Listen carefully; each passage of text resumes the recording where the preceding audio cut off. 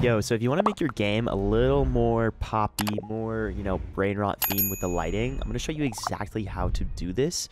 The skybox and all the lighting presets will also be in the description. So first things first, just go in the description, get the model, and you should get it through Toolbox. Just make sure to import the model when you get it. After you get the model, be somewhere, you know, in here in Workspace, put it into lighting right here, and you should have all of these, okay? So make sure you have all of these, and um, once you have all of these into your game, it's going to look exactly like mine, but we still have to do one more thing. So you're going to go to lighting and you're going to set your properties exactly like this. So the ambience, the brightness, the color shift bottom, the top, um, all of these values, just make sure to set.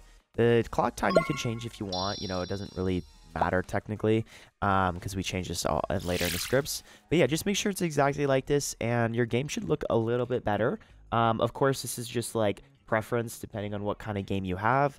Um, but if you want something to be a little more poppy and look just a little bit better, especially with this cartoon style like uh, theme box, this is kind of the settings that you know Steal a Brainrot uses. So um, yeah,